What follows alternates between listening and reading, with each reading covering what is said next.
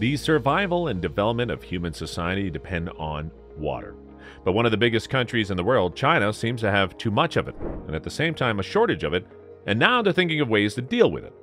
The country's 1.4 billion population needs water to thrive, but it has become limited and unevenly distributed.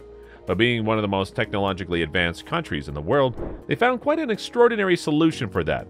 And what exactly is the solution? Creating sponge cities. Let's have a deeper look at that. In July 2021, the Chinese city of Zhengzhou, Henan, battled the heaviest rain in millennia and devastating floods that killed at least 31 people and displaced 1.24 million residents. Since early June, 24 provinces across China have suffered severe flooding, with over 443 rivers flooded, 33 of which have swelled beyond historic levels, with more than 23.85 million people affected.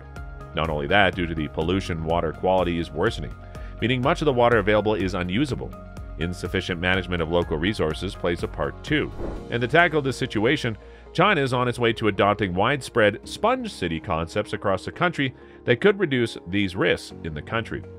First of all, what's a sponge city actually? It's a nature based solution that uses the landscape to retain water at its source, slow down water flow, and clean it throughout the process. This program aims to use pervious pavements, rain gardens, green roofs, urban wetlands, and other innovations to absorb water during storms.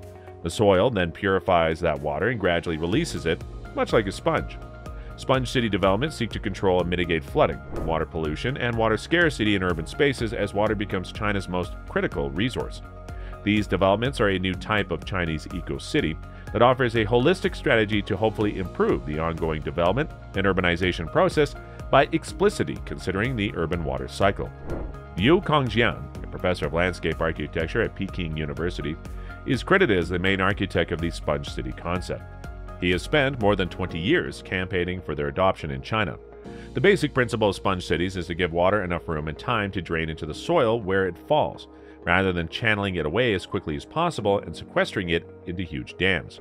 Instead of building fast flowing water channels, sponge cities slow down the water in meandering streams without concrete walls and with room to spread out during heavy deluges.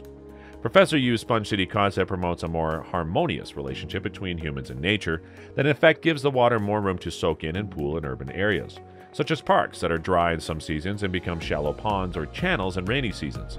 Floods are not enemies. We can make friends with floods, he says. Though gray infrastructure of concrete, steel, pipes, and pumps can be necessary to solve urgent individual problems, it consumes huge amounts of concrete and energy, lacks resilience, and often accumulates a higher risk of disaster.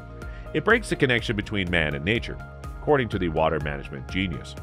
The Chinese government has already chosen 16 pilot cities and allocated to each of them between 400 and 600 million yuan, which is around 55 million for the implementation of innovative water management strategies. That means that the government has invested more than 12 billion in the program since 2014 to help cities create sponge features on 20% of the land with a goal of retaining and reusing 80% of annual precipitation by the 2030s.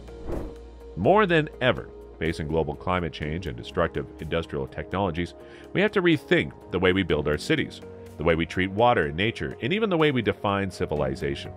Yu shared his thoughts. A sponge city follows the philosophy of innovation that a city can solve water problems instead of creating them.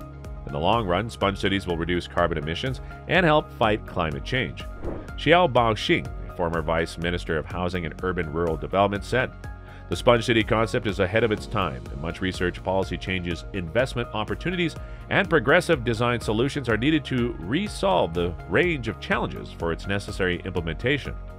What do you think? I'll see you at another time in another video. Stay in the loop.